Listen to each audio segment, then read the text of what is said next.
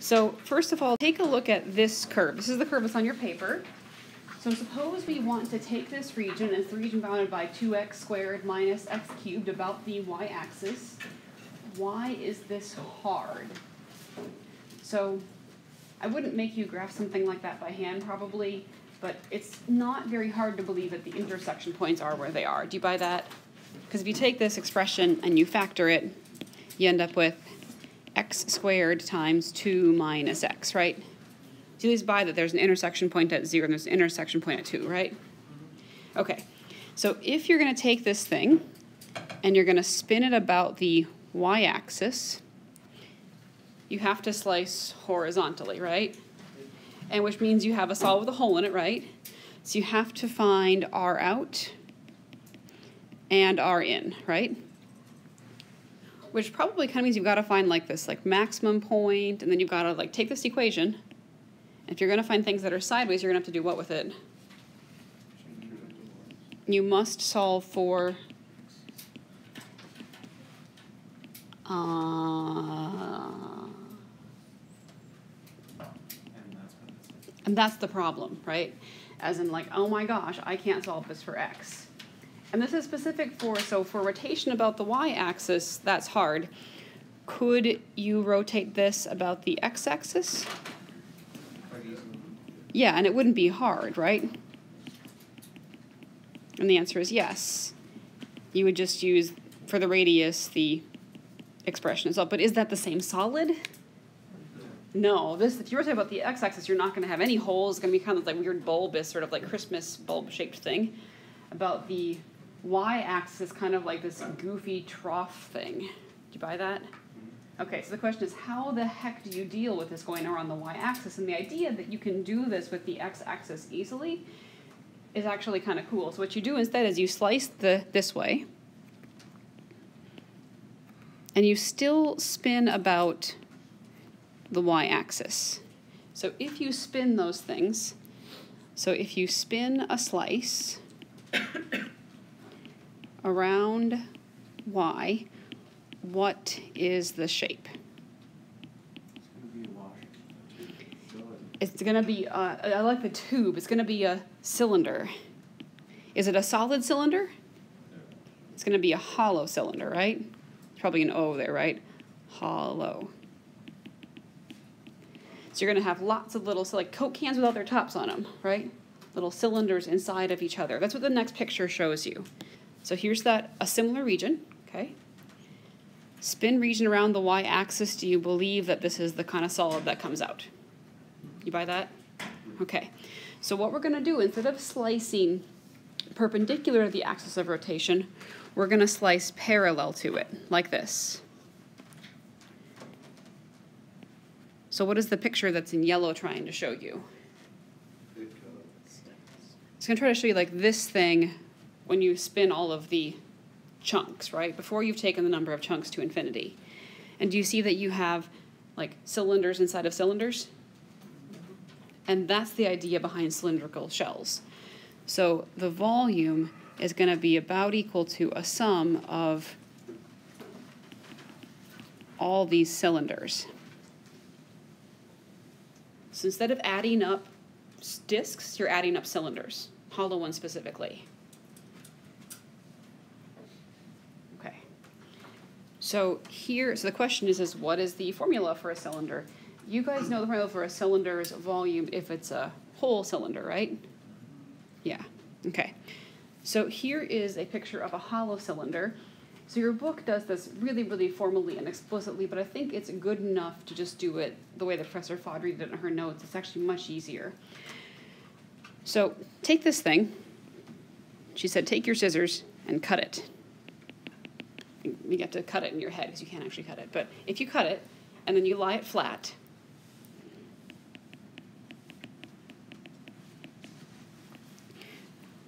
do you buy that you get a very thin rectangle?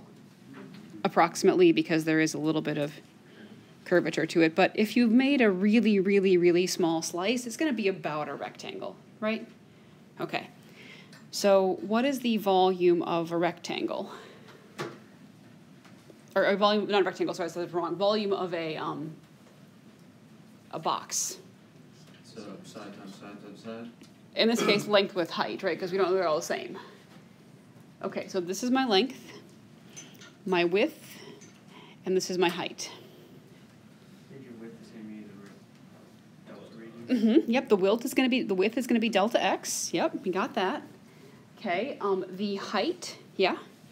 Wouldn't it be more like a like a trapezoidal prism because the Oh, uh, yeah, yeah, yeah. It's not going to be it's not going to be exactly a rectangle, but we're approximating anyway. And if you make a small enough slice, it's going to be really, really close to being a rectangle, or, you know, a right solid.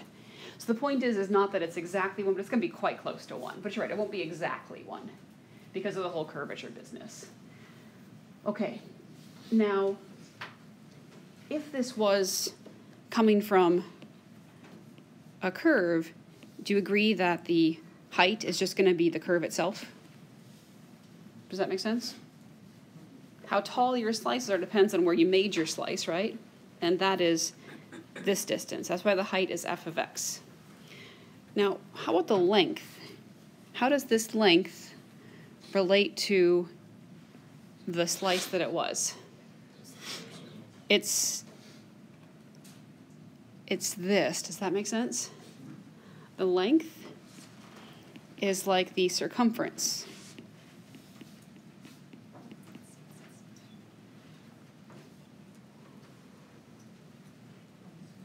Which uh, which radius are we considering? That's a great question. What you can prove and what your book proves is that instead of looking at the radius, you can look at the average of the radii, and that gives the volume exactly.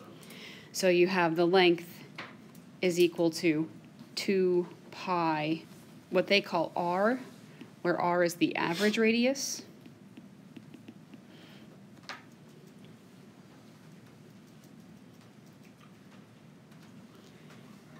Okay, so your volume is 2 pi r times your function f of x times your delta x. That's for a little slice. How does this r, how does it relate to the original picture? So if you have this curve, y equals f of x, R is kind of, it's r is how far away you are. Does that make sense? Before you make that slice? If you made your slice close to the edge, that's a different r, right? Versus far away is a bigger r. So this r is actually just going to equal whatever x value you have. And how far away was that slice? So the volumes you're adding up are 2 pi x f of x dx, or delta x.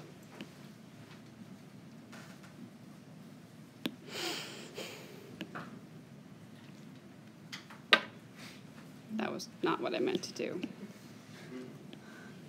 So volume of a slice is going to be 2 pi, we'll just call it x sub i because it's a different x for different ones. The height at that point times delta x.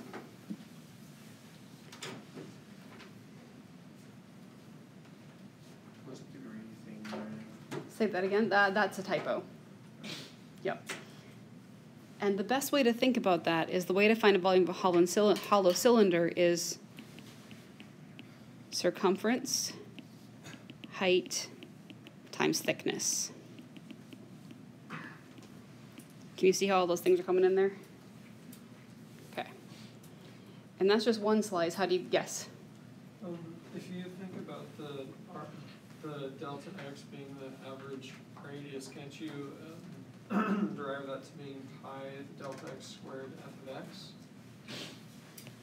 Because if it if it's No, no, it isn't. Delta x isn't the delta x is crap. Delta x is not the average radius. That's not the thing that was the average radius. It's the it's the x sub i that was the average radius. Two pi x. Ah, crap.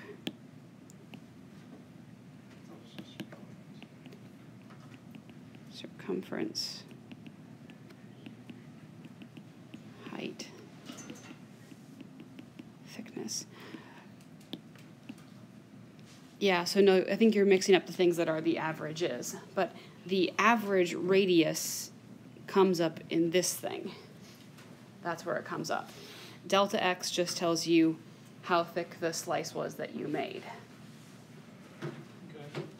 So yeah, you can. What you do to sort of prove that formula is you take this thing and you find the volume of the outer cylinder minus the inner cylinder, where the outer radius is R two and the inner radius is R one, and then you can use that to show that oh well you can just use the average of those two radii, which you could relate to delta x. That's how you kind of prove it. It ends up being a little bit tricky.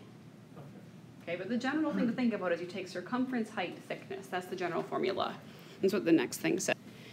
So the way to find this solid is to find the integral from wherever your slices begin to where they end. 2 pi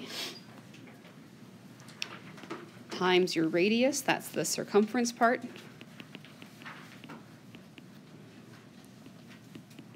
height, this is the height. And then the dx thing comes from delta x, and that's the thickness.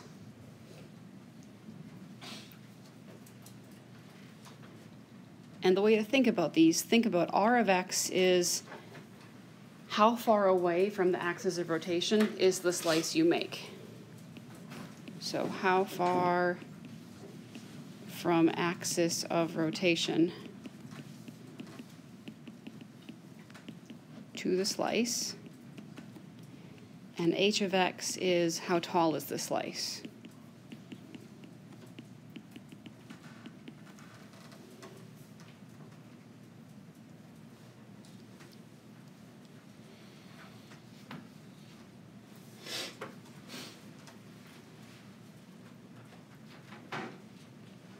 Why did you change the f of x to h of x? Well, you can. Okay. So, and it depends because if you have two curves, then it isn't just f of x anymore. Does that make sense? Yeah. So in general, when you make a slice with the first example that we had, that was just a you know curve like this from A to B. Then you can say two pi. If you're spinning about the y-axis, how far is it to your slice? You can even just say that r of x is equal to x. In, how far over are you? Well, your x units over. And then you can say, in this case, that h of x is equal to f of x. So that's for the specific case where you have only one curve and it isn't shifted around a weird axis. Does that make sense? Because when these are just shifted around weird axes, like if my axis was over here, my radius is going to change. That's the thing. That's why this formula is kind of nice because it's really general. It applies to all sorts of stuff. Does that make sense? As opposed to the one that, second one that I gave only applies to this curve, xx, y-axis only. So let's do an example, okay? Let's do one. So we have sine of x squared from 0 to root pi.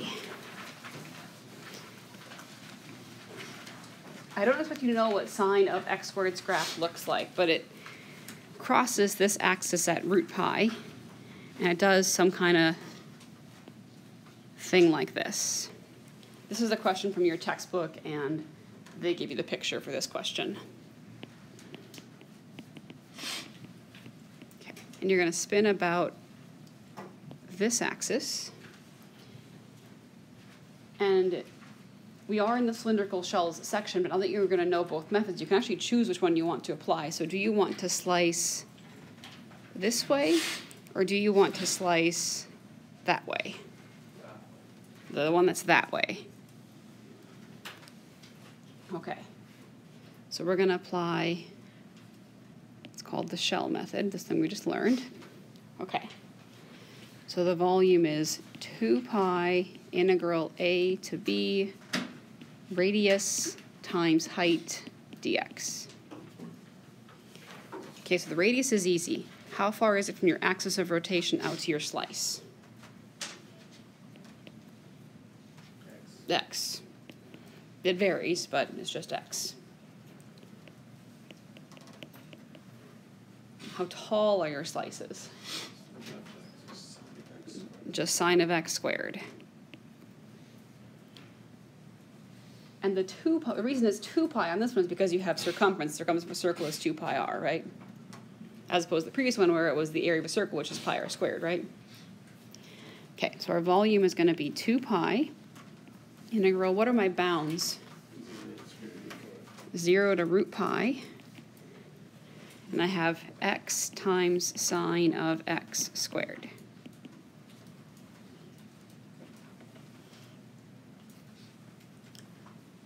Is this something that you can actually integrate? Yes. Yeah, what do you, what method do you have to use? Use a, use a u. What should your u be? x squared, yep. So then du is 2x dx, or half du equals x dx.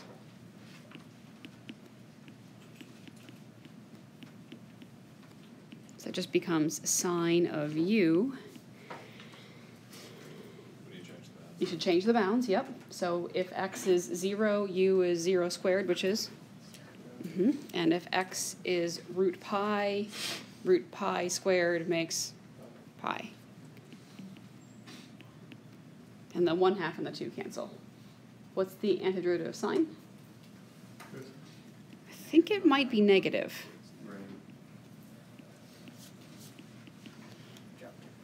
I dropped my pi. Did I drop it on the floor? Haha. In that case, my dogs would get it. Hey. That'd be sad for me, good for them. Negative pi times, what is cosine of pi? Negative 1. And then minus negative pi times One. 1. So I think that's going to be 2 pi in the end, isn't it?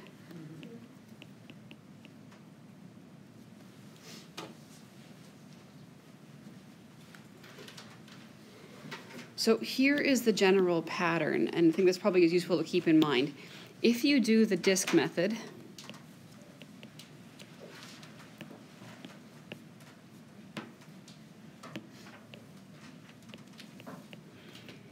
you slice perpendicular to the axis of rotation. Do you see what I mean by that? Okay. If you do the shell method, you slice how relative to your axis of rotation? Parallel to the axis of rotation. One of, I'm pretty sure one of the take home quiz questions has a bunch of, has a region that says set up the integral using both methods. Because I used to let people pick and do whatever they wanted and have preferences, but I think it's much better for me to make you learn them both. Yes? Okay, so we're going to make the point where we're rotating about other curves. No, no, we're only going to rotate about horizontal and vertical lines only. We're not going to rotate around like diagonals or things like weirdness. No, no, no, no, no, no, no, no. Okay, no. But that problem you just did would be messy doing the other method. Yes, that previous problem I did would be like messy, if not impossible, going the other way. So the one that I gave you on the quiz is something like a parabola where you can definitely do it both ways. I had to pick something very special so that it would work both ways, because it is the case that that is not always true. Yeah, good point. Okay, so let's take the region y equals 3 plus 2x minus x squared, and x plus y equals 3, and we're going to rotate that around the y-axis. I'm sorry I didn't give you a grid. Did I give you a grid? No, I did not. Bad, bad Beth. Okay, first of all, solve this one for y. So y equals 3 minus x. That one's going to be easy enough to deal with. The next one, I know you love to complete the squares. Let's do it. Nobody made a groaning, sarcastic sound. So take out the negative.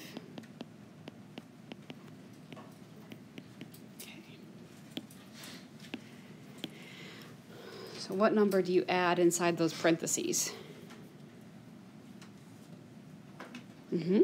Yep, half of the negative 2 squared. and then what number have you effectively actually added?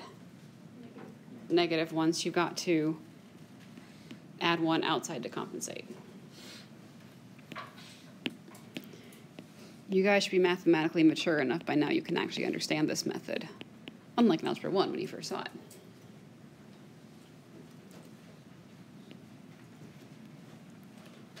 Okay, so one, two, three, four, one, two, three, four.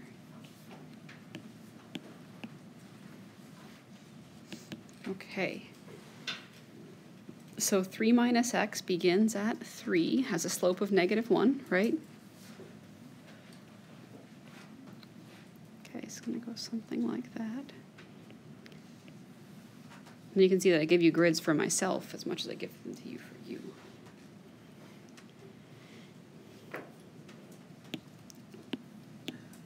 Where is this parabola going to have its vertex? Or is the parabola shifted over to the right and up? And it's upside down, right? So I think it's going to be up there at 1, 4. And it will cross here. I think it also crosses there.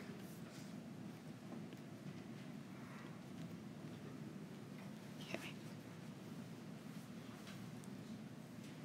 Right. Um, which axis are we spinning around? The y. If we had spun about the x, would we need this new fancy method?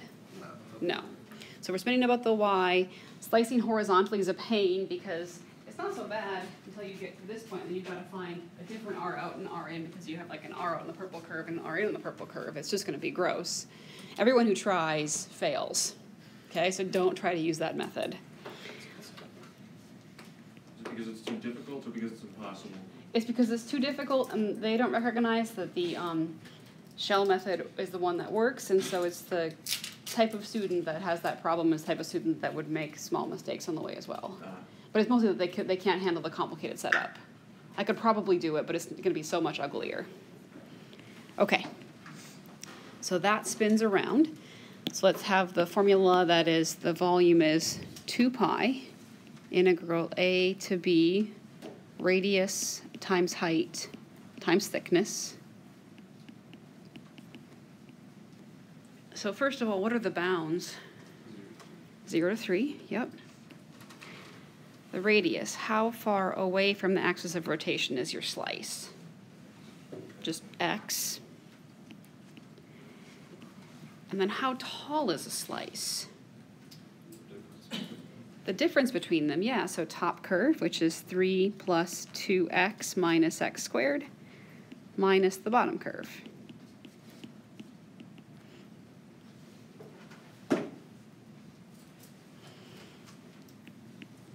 So that's 2 pi integral 0 to 3 x times, when you simplify the stuff inside of those parentheses, what do you get? Well, the 3's go away, right?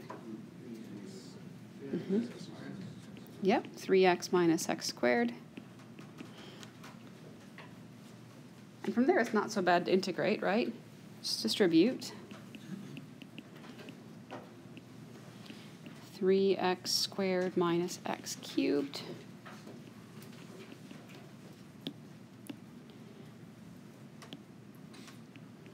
What's the antiderivative of 3x squared?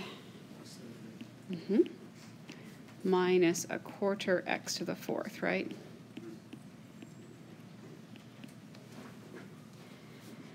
And you do that, and you end up with 27 pi over 2.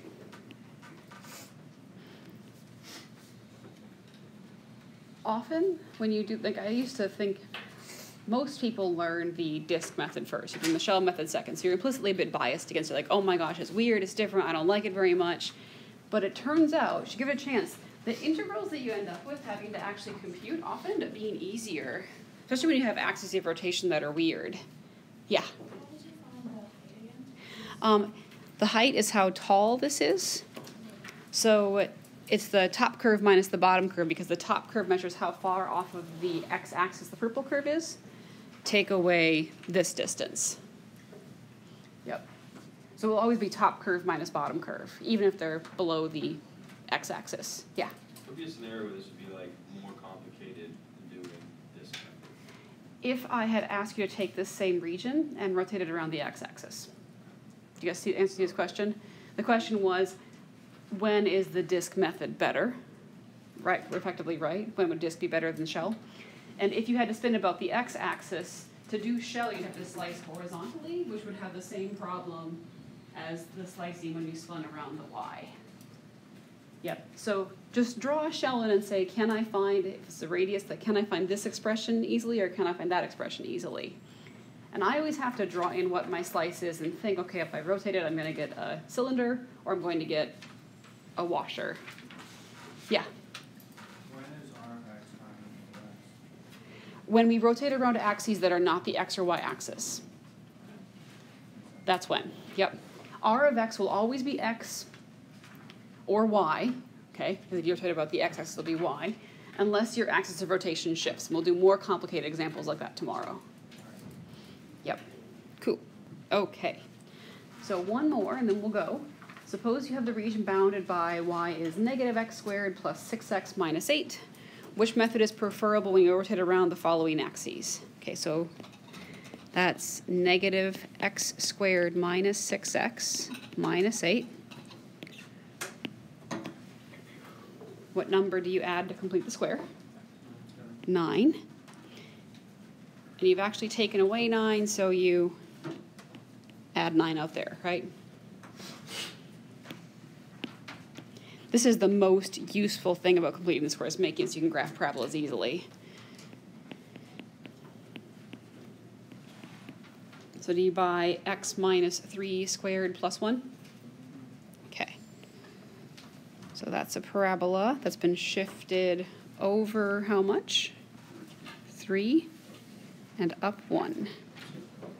Upside down. Crosses the x-axis at 2 and 4.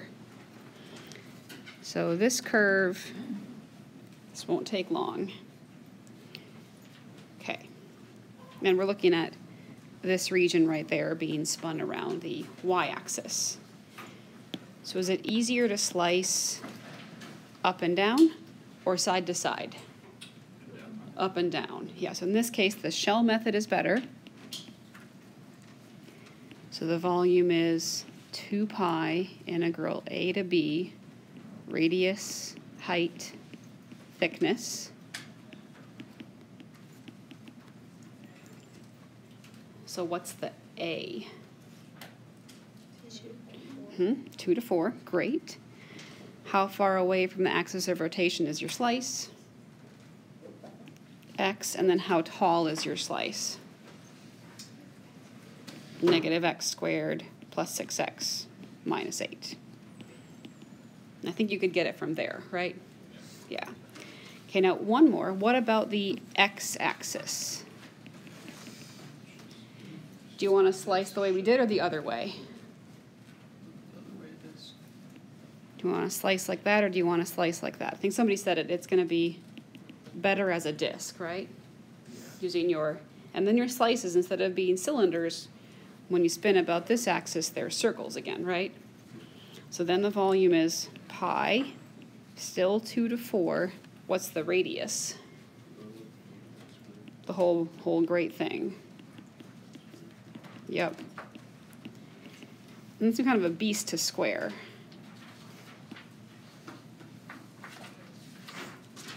Okay. So we'll do more.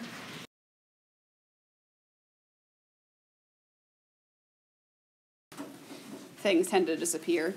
If you have a curve y equals f of x, and you rotate around the y axis, I'm going to use really good grammar here. How find volume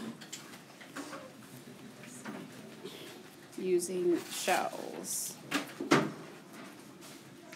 So here's your picture, you have your curve. It's almost like Okay. So what was the um what was the general way to think about this? You have your circumference, right?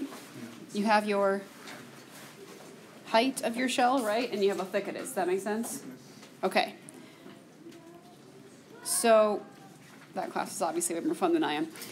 So because you're talking about the circumference of a random slice, what's the circumference of a circle? 2 pi r's. So in this case, it's 2 pi x. Let's just call it r of x for now because we're going to deal with some r's that are a little bit different, but in this case, it is x. Um, a to b, what is the height in this particular example?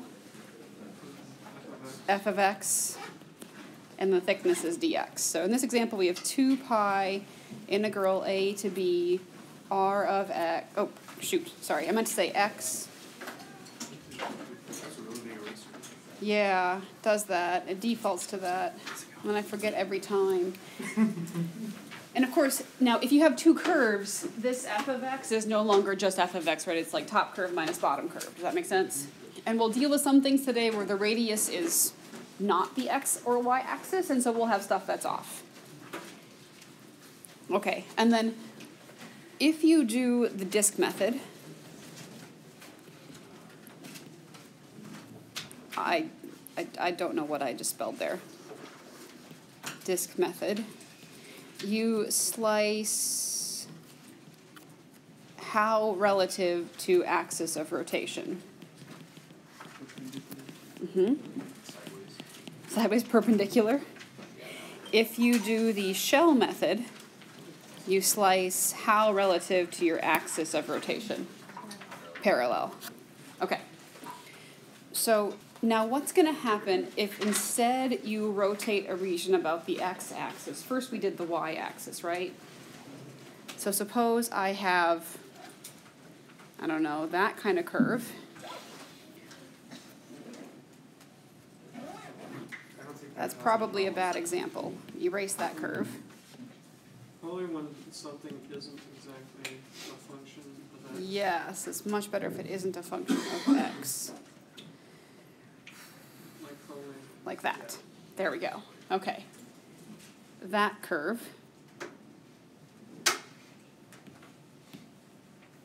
What's the weird sideways thing on it? I'm going to take it off. There we go. And we want to spin that between some different values about the x-axis. So that I think the most helpful thing to think about is that you slice parallel to your axis of rotation. So your slices go sideways like this. So we have that 2 pi. Now, in this case, our radius is going to be a function of y instead of a function of x. And your height will also be a function of y. And those values are going to be y values. And when you work with x's, you have to have it as y equals function of x, right? When you work with y's, you have to have it the other way, x equals f of y, right? So solve this for x. x equals f of y, and that will become 2 pi integral c to d y f of y dy. Would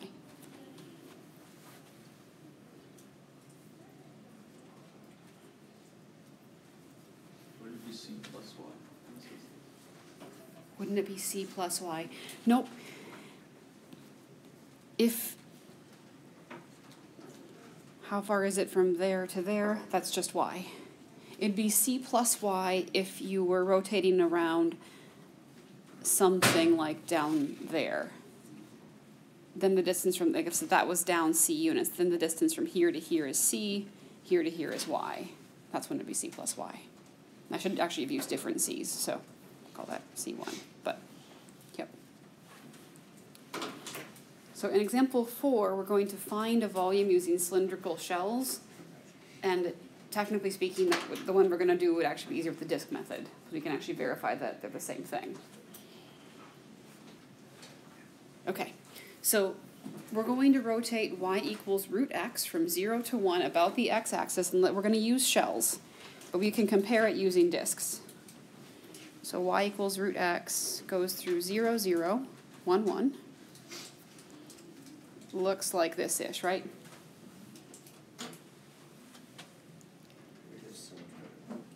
It's all right. That's I'm not going to judge your art. Okay.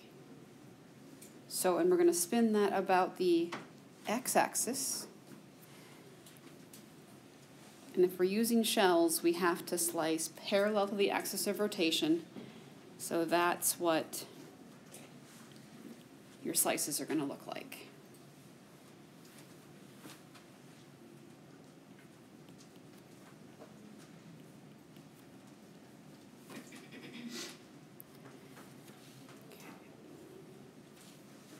Does everyone understand the full general concept? Okay, where do your slices start? Where do they end? What are the y values at those places? Zero. Mhm. They happen to be the same as the x values, right? But that's not always true, so be careful of that. How far is it to your axis? Like, how far is it to a general random slice? It's just, yeah, just y. Just how far up is y. And then the height of a slice. So, how tall is it? That's a little bit tricky. So, if you solve this for x, you end up with x equals y squared, right? Does that measure the distance we want? It measures it measures this distance, doesn't it? So how do you get the distance that we want? One 1 minus that, yep, 1 minus y squared. And that's tricky. But once you get it set up, the rest of it's not so hard, right? It's just easy antiderivatives. So 2 pi integral 0 to 1 y minus y cubed, right? So that's 2 pi times 1 half y squared minus 1 quarter y to the fourth. That's 2 pi times a half minus a quarter. If I ha- you have half a dollar and take away a quarter, how much do you have left? Quarter dollar. A quarter dollar times the 2 pi gives us half pi, pi over 2. so that's the shell's way.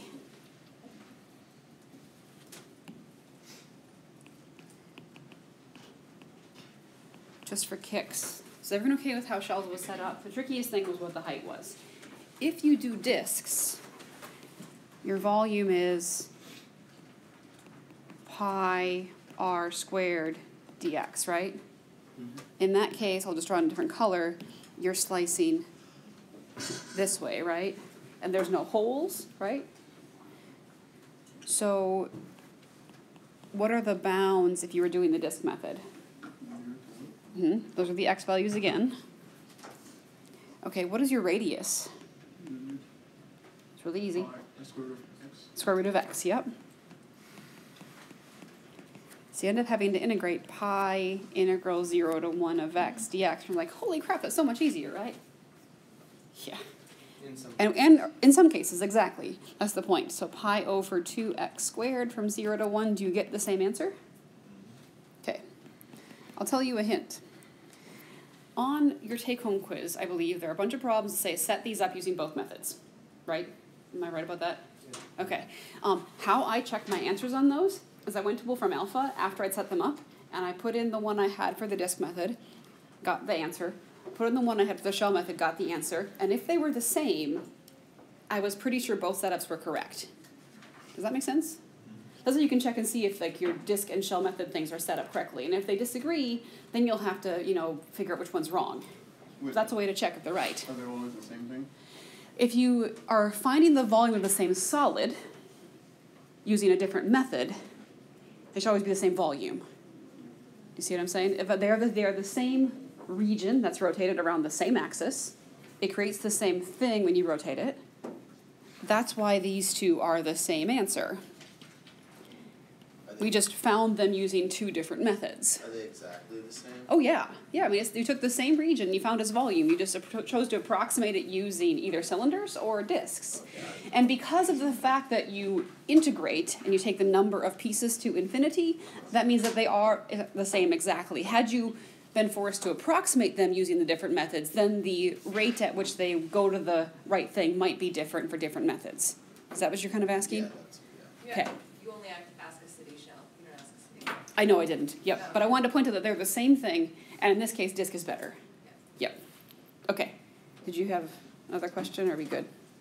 Um, I kind kind of solved my question, but I was gonna ask like, how are they the same? Then I realized we're rotating around the same axis. Yeah, we're in the same region around the same axis. We just end up doing it two different ways. Yeah. So on the test, would you want us to do, like, would you say preferred, uh, like, On your test, I will either say do both or you can pick. And on some questions, using one method is either going to suck or be really hard or impossible, and you've got to pick which one works. Does that make sense? Like, as in there's a sort of a choice thing that's going on. Lawyers tell us what to do. Nope, nope, you have to think. the- You have to think. Process of finding. Okay.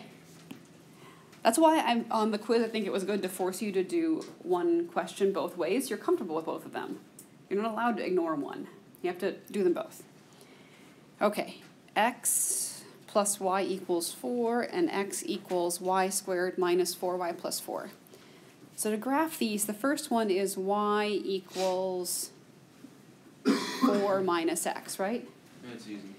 The second one's actually also easy. It's x equals the quantity y minus 2 squared. That was a bit special that that worked out that way, but if you tried to like complete the square on that, you're gonna get that it ends up being y minus 2 squared. Because the square has already been completed, like it's a, just a perfect square one. But how can we solve for y on the one and x on the other? Um, because when I graph lines, I have a really hard time doing slope and intercept anyway, but the way that I learned. Does that make sense? I'm eventually going to have to go back to, you know, x equals 4 minus y, but for now, just to graph it, I need to go into the slope intercept form. Okay, so let's graph the first one in purple, it's best color. Starts at 4, slope is Mm-hmm. So down one over one. Where does it cross the um, x-axis? Four. Four. Ugh, I hate it when I don't put grids. Makes me crazy. Okay. Y minus two squared. We'll Is do that that. just uh, x equals y squared shifted to the right too? Yeah, so we'll think about it. Plug in a specific value for y that will make your x zero. Two. two. So if you put in, you put in two for y, is it clear that x is zero? Do you buy that? So we are on the y-axis right here. So when you add numbers inside of regular parabolas, it shifts them left and right, correct? When you add numbers inside sideways parabolas, that kind of switches, and actually shifts them up and down. But you could also verify by, by plugging in different y's. If you plug in, say, like y equals 1, what do you get for x? 1. If you plug in y equals negative 1, what do you get? Or what am I saying? Okay. What if you plug in y equals 3 right there? What do you get for x? One. 1. And if you plug in, I don't know, y equals 0, that's a nice one to plug in, right? You get x equals squared, which is 4. So there's your parabola. It I guess it intersected all the right places. It does. It, it was kind of doctored to work out nice. Really, I thought you were just really, really lucky when you made these problems. I took them out of the textbook because somebody obviously engineered them to work. I don't have to engineer them anymore. Okay, so you're going to spin about the x axis. So ask yourself do you want to slice like this? Or do you want to slice like that? Do you see why slicing like this is kind of a problem? Because you have part of it that's parabola and parabola, and part of it's that parabola and line. Versus this way, it's always the case that the purple curve is above the blue curve. That's why slicing horizontally is a good idea. And that would be the kind of thing you have to recognize on your test. I mean, I did tell you to use shells, so.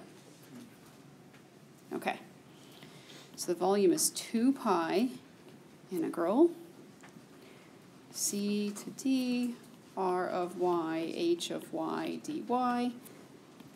So those c and d values are y values. So what's the lowest y value down there? hmm What's the highest y value? Three. Radius, how far is it from the axis of rotation to said random slice? Y. And then the height. Is that the distance between the cubes? Mm-hmm. Yep, so you do top minus bottom, but you gotta turn your head sideways. And who's the top curve of your head is sideways? Mhm, the linear one. So that one is going to be is 4 minus y. Then take away y squared minus 4y plus 4. Careful with them parentheses, right? Because you don't have them, you don't have anything. When you don't have them, you miss you miss the negative distribution. Do the fours cancel? Mm-hmm. hmm We end up with I think three y minus y squared. Do you guys agree with that?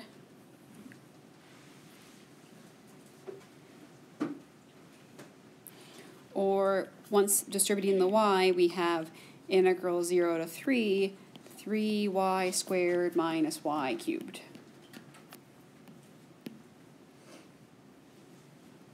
That's my notes say too, so I think we're probably good. So two pi, it's kind of nice. What's the antiderivative of three y squared? y cubed minus one quarter y to the quarter, y to the quota. Oh, y to the fourth, sorry, that's not quarter. Two pi times three cubed is uh, 27 minus 81 fourths. Oh my gosh, common denominators. Okay, we're gonna skip the rest of the algebra because, you know, that's so fifth grade.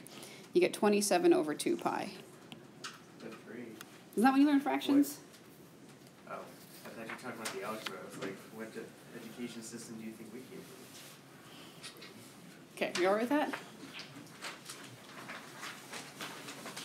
Alright, so a lot of you have had good questions like, when is this radius not going to be y or not going to be x? That's what the next examples are going to all have.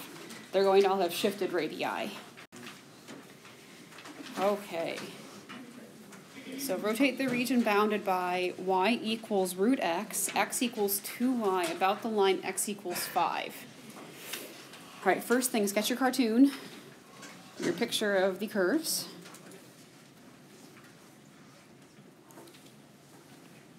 This is the same thing as y equals 1 half x, right? Okay. So what does root x go through what points? 0, 0, One, one. 1, 1, 4, and Two. 2. Okay.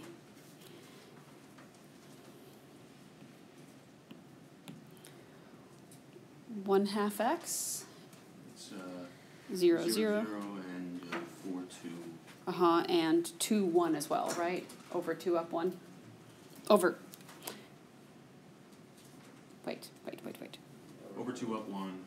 Or four up to. Over one, uh, rise one, run two. Sorry, I just had an out for one moment there. That's your picture, right? Where is the line x equals five relative to these? Mm-hmm. And it's a vertical line, correct? Shouldn't we continue drawing our curves until it reaches that? Nope, nope, because you always look at the region between the curves. So bounded by means Okay. between the curves. Okay.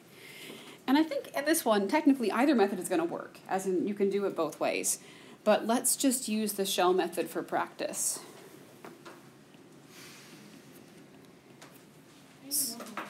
Hmm? I can show you how. Uh, uh, is the question how do you know it's going to work both ways? When the curve doesn't do any, any doubling back on itself, that's a good hint. You see how the previous one had some doubling back on itself? Yep. Okay, so if we do shells, we have. Which way do our slices go up and down or side to side? Up and down. Up and down. Okay, Is that parallel rather than? parallel to the axis of rotation. So the volume is 2 pi integral. And now, since your slices are up and down, you have a dx on the end there someplace. So that tells you you're going to use x's throughout your equation. So where's the x that the slices start? Where's the x that the slices end? 0 to 4. Great. All right. Now the radius is the tricky part. How far from axis of rotation out to curve? Is it just x this time? No. No, it's curves minus x. This distance is x, right? The total distance is 5, so it's 5 minus x. Okay, that's much like what we did before, isn't it? Okay. And then the height of the curve. Top minus bottom, so it's root x minus, Two over two. uh huh, minus x over 2.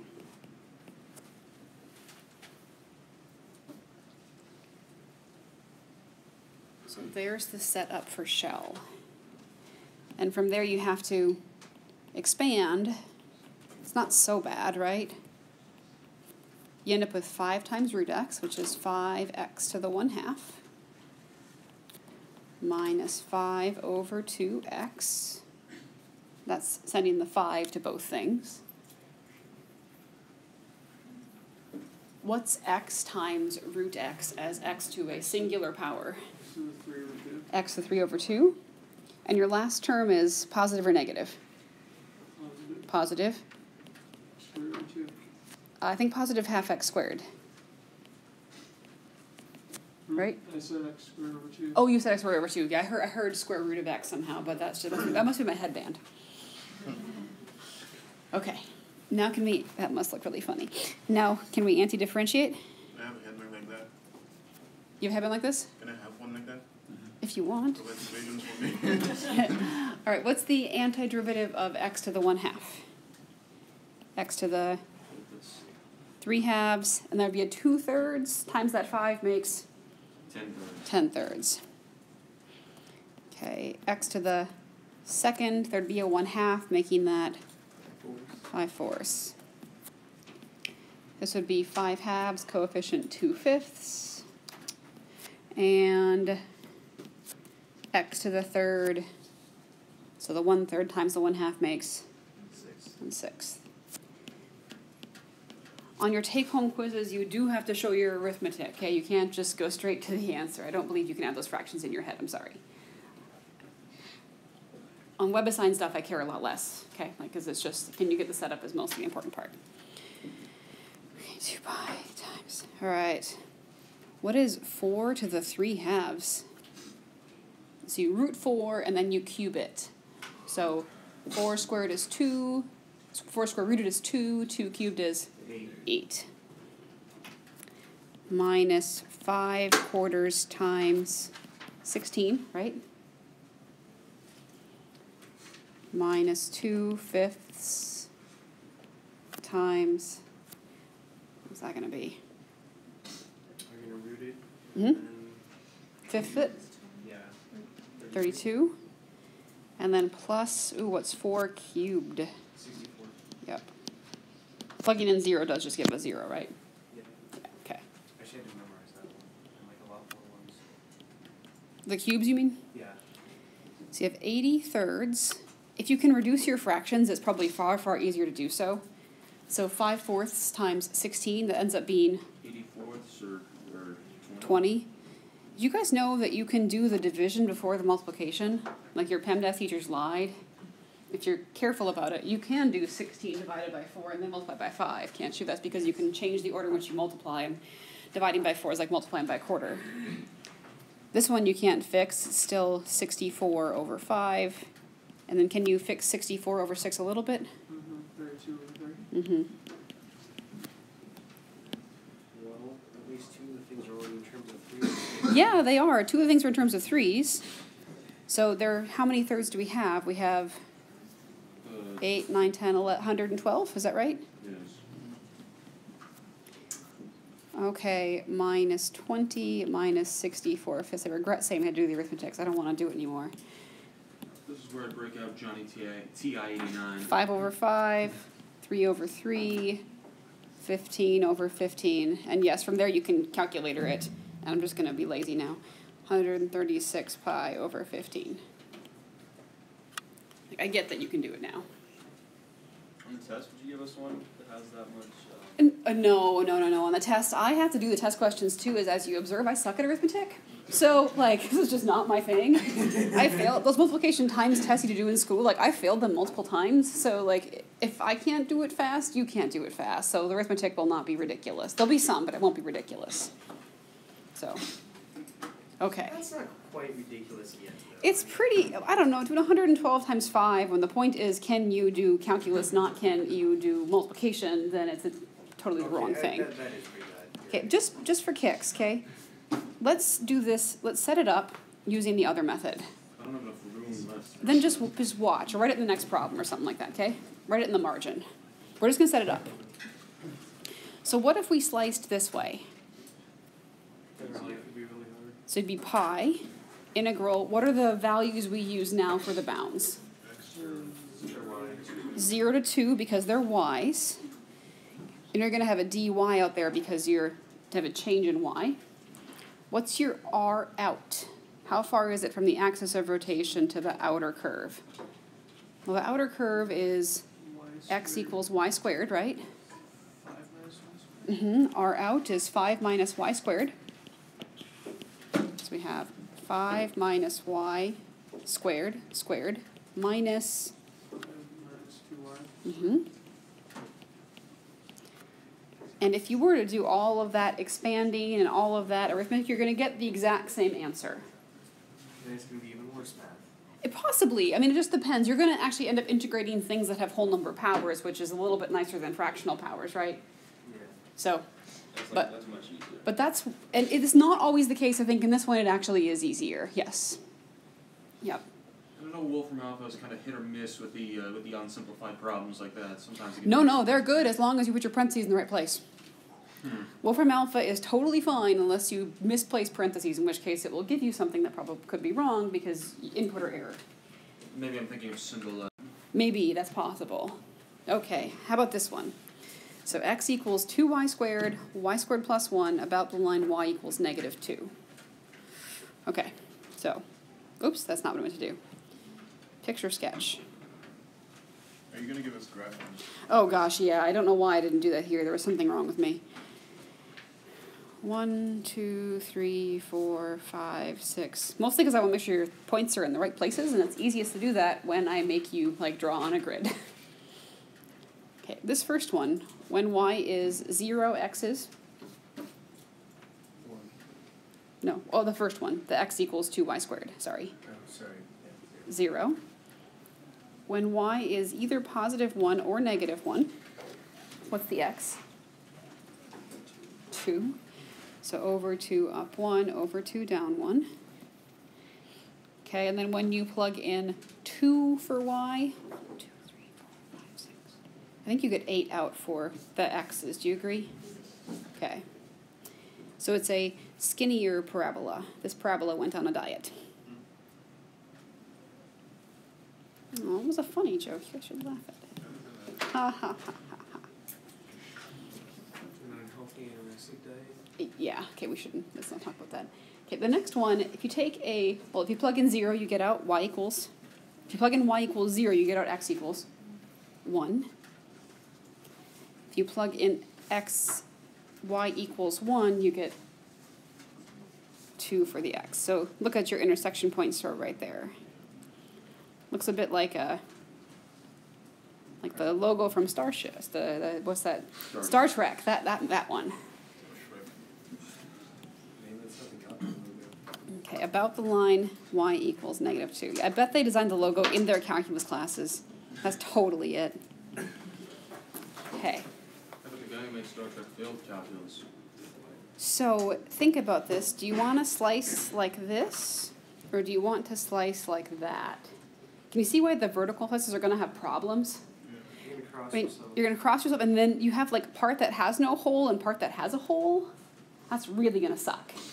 So we're not going to set, set this one up the other way. We're just going to use shells only. Have you guys seen this goofy thing called Marcel the Shell? Okay, if you have, if you haven't, Google it. If you have, I want to do this whole lesson in a Marcel the Shell voice. It'd be so distracting. Okay. So the volume is, are we going to use x's or y's in this? Twice. Y's. So C, D, radius, height, dy. Okay.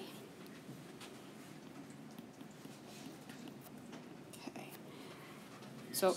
You can't. No, you Oh, can't. right, because Because we're not slicing the evil. Yeah, it, it's it, let's let's set it up and talk about why we can't use symmetry after. So first of all, what is the um, what is the lowest y? Negative one. hmm What is the highest y? One. Okay, the radius is how far is it from this to random slice? So that slice is drawn negative, which makes it appear a bit more tricky. But what if I put the slice up here? Is it more obvious than what it should be? It's 2 plus y. Does that work even for the negative numbers? If your y is like negative a half, then you do 2 plus negative 1 half, you get 1 and a half. Does that make sense? Okay. And then what's the height? Who's the top curve? Purple or black? Purple. So y squared plus 1 minus the bottom curve, which is the black one, which is 2y squared.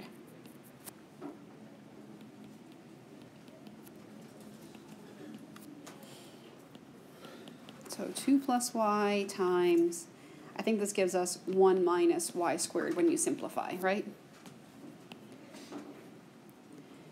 So the reason we, so is everyone okay with how I simplified that? Is that part all right?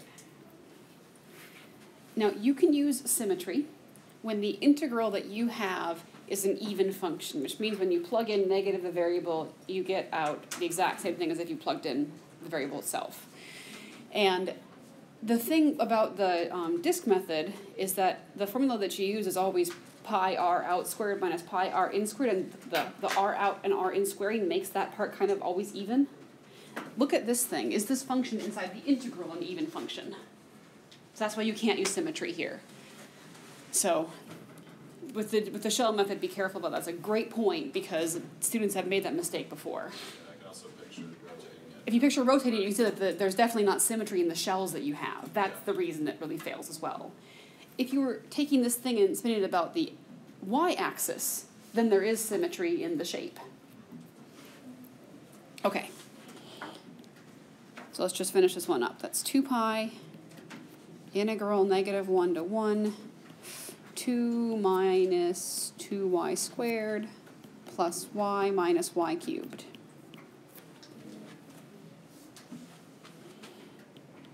So 2 pi times 2y minus 2 thirds y cubed plus 1 half y squared minus a quarter y to the fourth.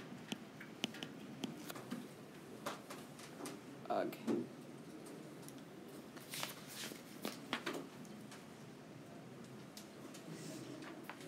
Arithmetic is nasty. I'm so sorry, but you gotta plug in one, you gotta plug in negative one, right?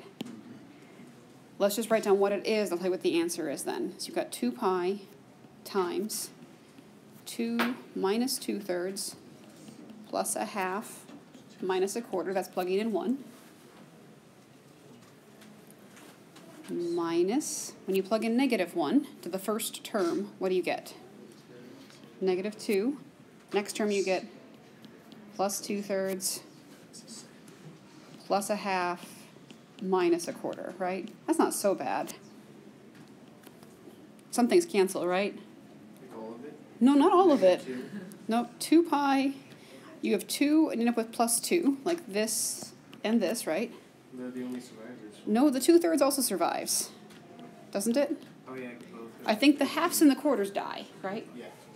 Okay. Math is so violent. You end up with 16 pi over 3.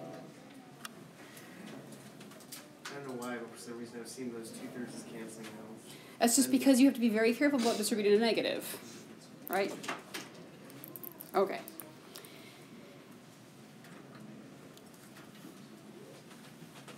I forgot my watch today, so I don't know what time it is. Stop me when we're like five minutes out, okay?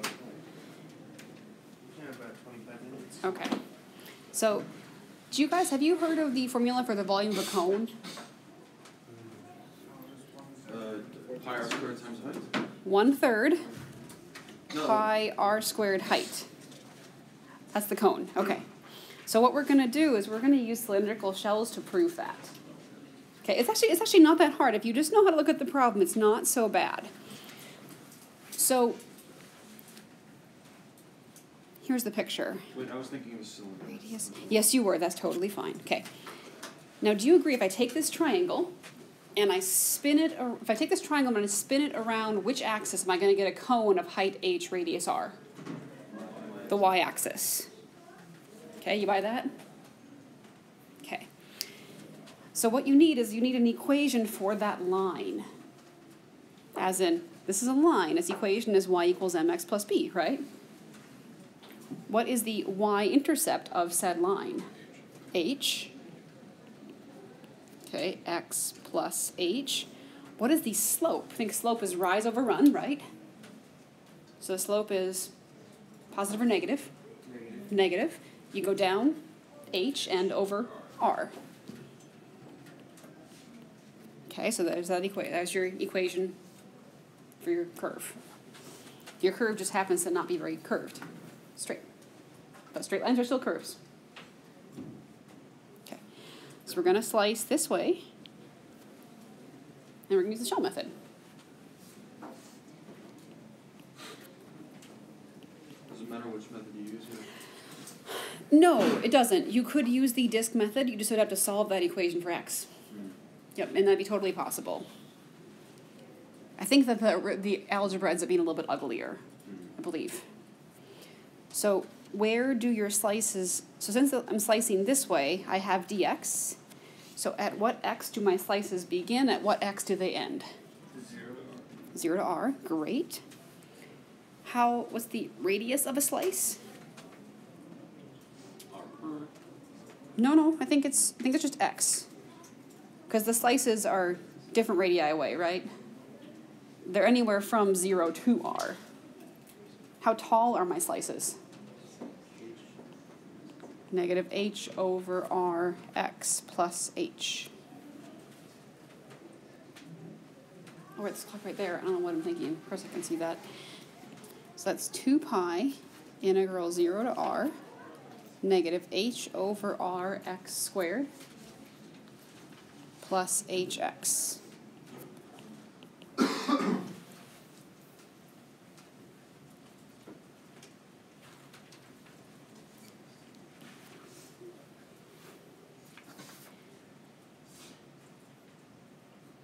Can you anti-differentiate that?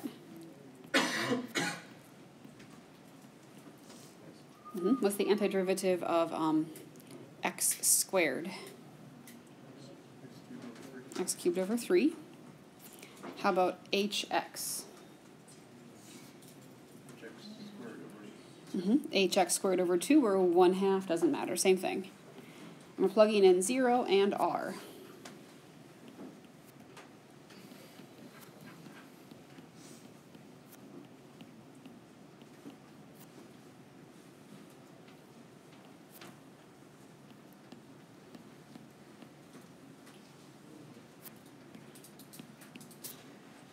Plugging in 0 does give you 0, right? Okay. And now this actually is going to simplify quite well.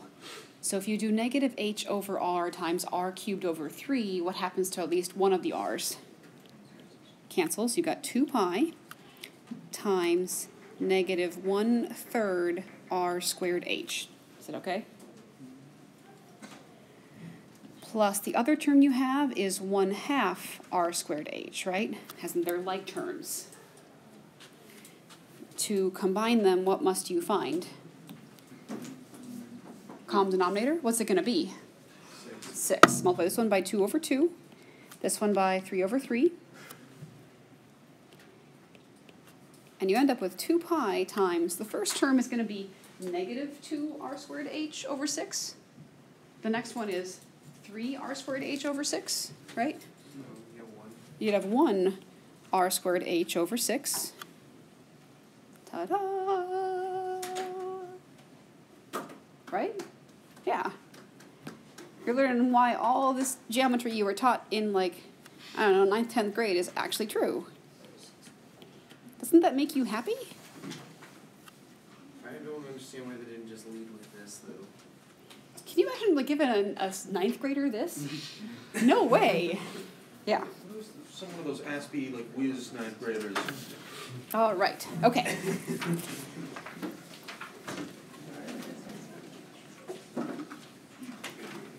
kind of person who likes explanations, and as I told you so doesn't usually work.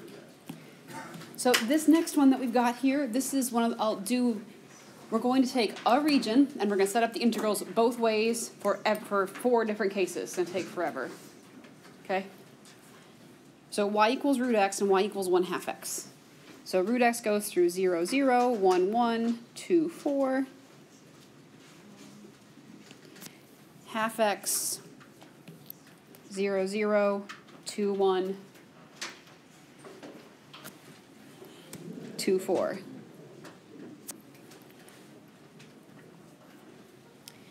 So if we're going to spin about the x-axis, so set it up using disk, and label who's who, set it up using shell.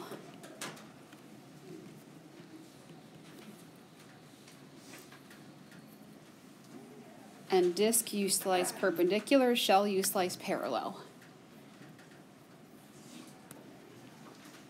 So pi integral. What are the um, bounds for the disk method for this one? Zero to four. Do you guys agree with that? Because they're the x's. Who's your outer function? Root x. So you'll have root x squared minus who's your inner function? hmm Half x squared dx. I can't remember in the quiz if I asked you to simplify, but like you can totally do that. You can say x minus one quarter x squared, right? That's fine. Like the, the quiz we just took, or The the one the take home quiz. okay. So does that part make sense? Pi r out squared minus pi r in squared.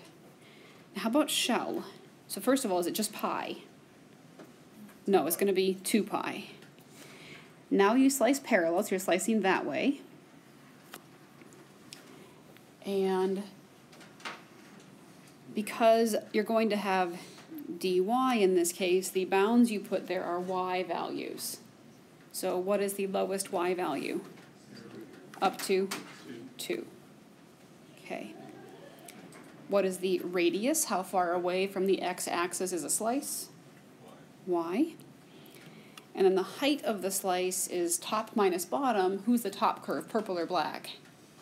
Purple. But we also have to have them as x equals, don't we? So we have x equals y squared, and then we have x equals, what's the other one? 2y.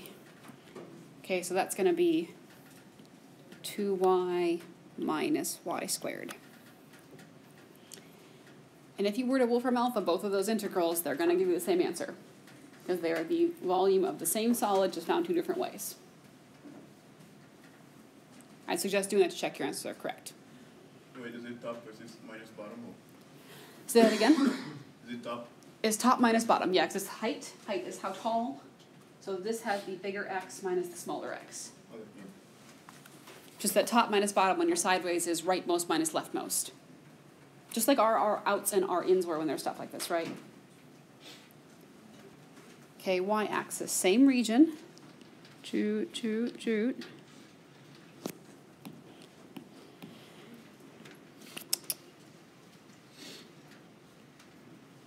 Okay, so this time y axis. So first disk where you slice perpendicular. Okay. So pi integral, is it going to be dy or dx? dy. In that case, the bounds are 0 to 2. Great. Does your do your slices, the discs, do they have holes in them? When you spin this, is there a hole? Yeah, there is. So who's your R out? Mm-hmm. 2y. So you're going to have 2y squared minus who's your R in? X squared. Yep. Y squ- yes, sorry, y squared. Yes, yes, yes, yes, yes. I should really, really write this down. X equals y squared. X equals 2y. Okay. All right, shell. Slice parallel. So I slice that way. 2 pi.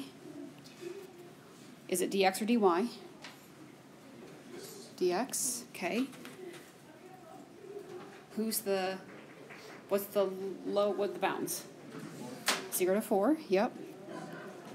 Okay. Now you need your radius, so how far away from the y-axis is your slice? It's a distance of x over. And then height, how tall is the slice? Who's the top curve now? Yep, which you, but because you're using x's, you have to say it's root x minus half x.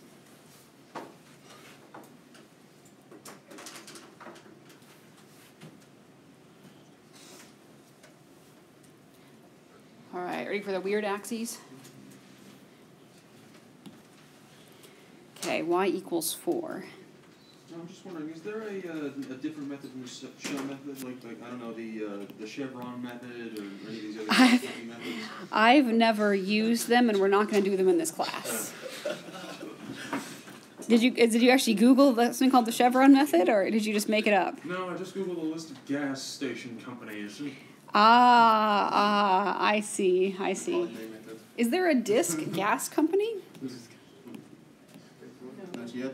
Didn't not yet. Okay, well if you guys are at a gas station, you've got the you know got the Shell gas station. You can call your gas station the disc gas station. Okay.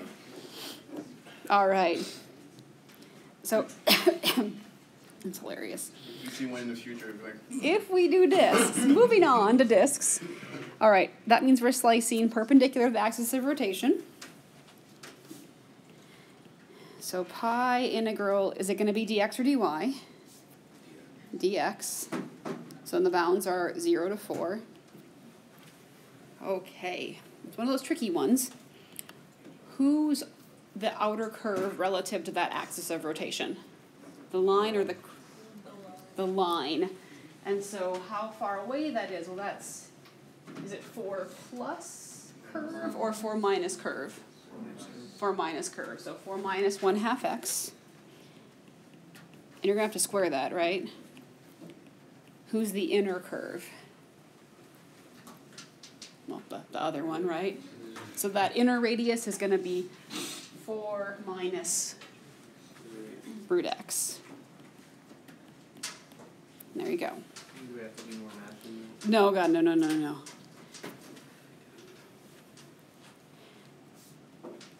Shell.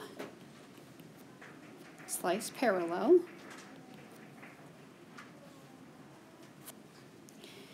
You sense some kind of patterns going on here? As in, like, if the disk is X, the shell is Y, right? All right, dy. So this would be 0 to 2 again.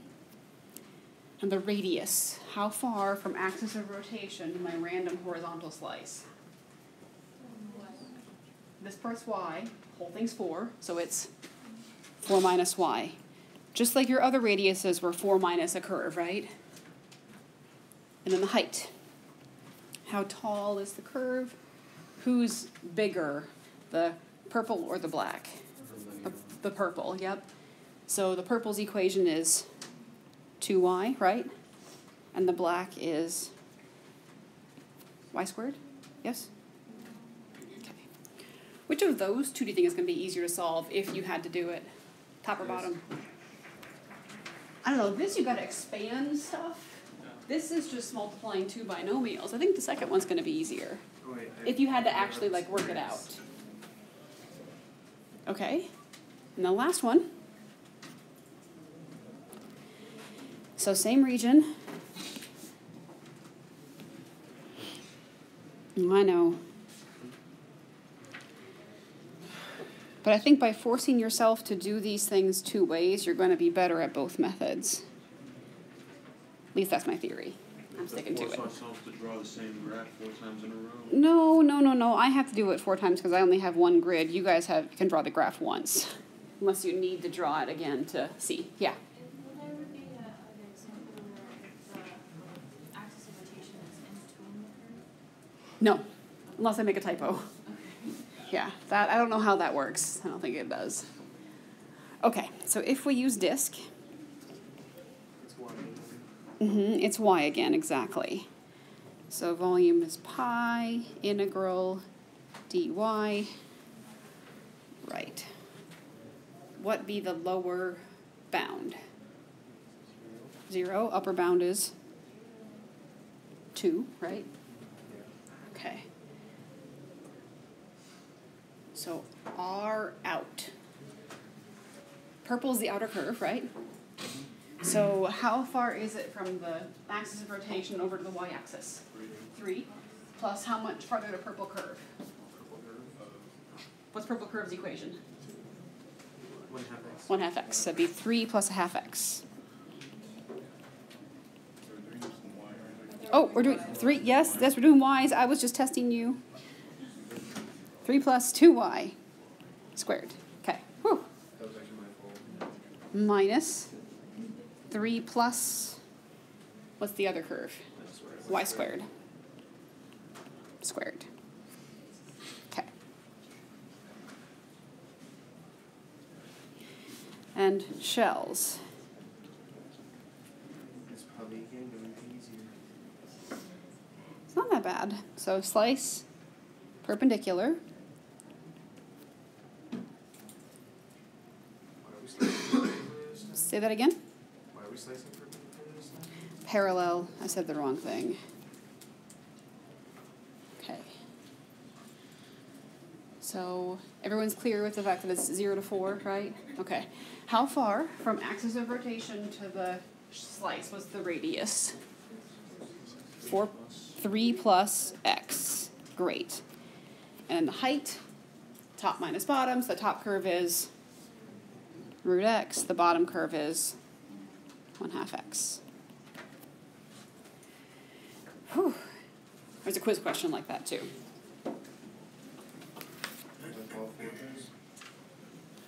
Yeah, like where you have a region that says do this thing like basically eight times, right? So it's a little tedious, but I think it will really force like how are these methods different? How do I work with them? I'm pretty sure I put one on there. It's like uh, I, I didn't. It's just shell method. It's just shell method. Okay, well crap. Well, I think it might be the same questions you had to do with the disk method in the previous quiz. Okay. I want to do one of the last examples because they're a little bit harder. So, this example, I'd like you to just look at the notes online, and I'll tell you one hint. This one you can't do both ways, as there's a good way to do them for both of them. And I don't want to tell you which one's what you think about it, okay? So, think about it and then figure out which one's better. If you have questions, ask me. But let's just do one of these next ones.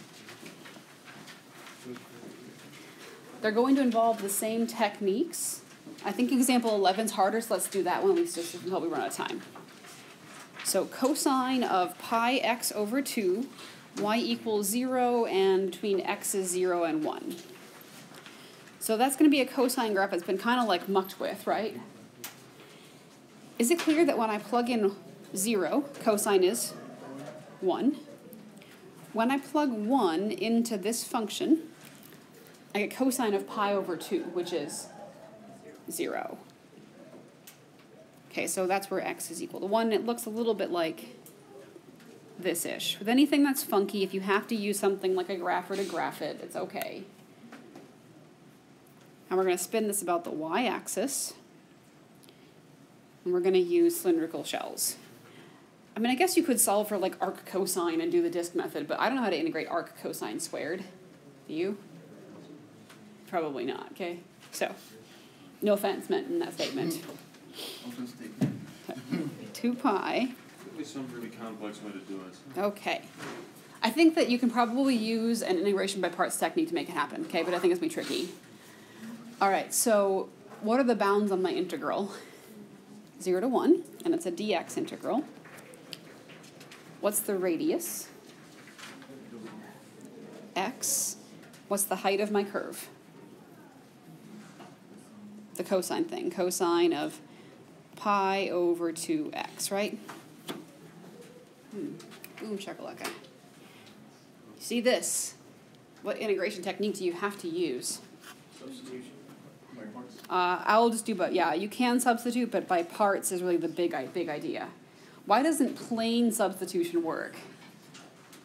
If you let u equal pi over 2x, the du is pi over 2 dx, right? You haven't But then you replaced. just your two pi out there. That would be fine too. Like, as in, would it? pi over two. It'll cancel out the pi part of it. Yeah. Yeah, so you can do a substitution, but you will not get away by the fact that you have to do integration by parts. Like it is necessary, and I'm just going to skip the substitution because it's less work. Okay. So if you do integration by parts, which Jill calls IBP on her notes, what is your u going to be, and what's your dv going to be? Uh, is u cosine of pi over two x and dv is uh, x dx? What is x? No, dv is cosine of pi over 2x, and u is x. You let u be the thing that you want to go away when you take derivatives. So du is then dx. And v, okay, first of all, antiderivative of cosine is sine, is it negative? Okay. And then how do you compensate for the pi over 2? Two over pi. 2 over pi. Doesn't that still cancel? It, it, it will be the same, don't worry. So 2 pi uv 2 over pi x sine pi over 2x from 0 to 1 minus 2 over pi integral from 0 to 1 sine of pi over 2x dx. Is that part all right? Remember that it's uv minus integral v du, right?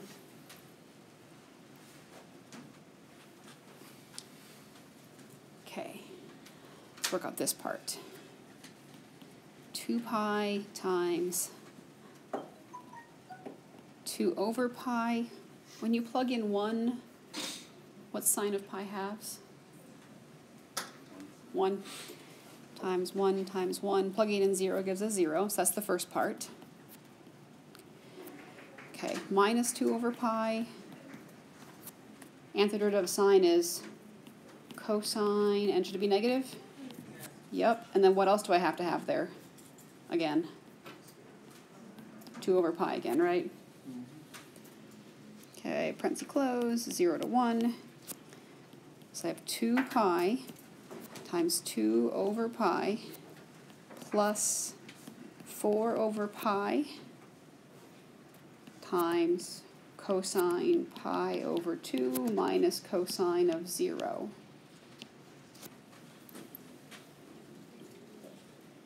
Would that be four pi squared? Yes, it would. Sorry, thank you. 4 over pi squared. Yep, yep, yep. Okay.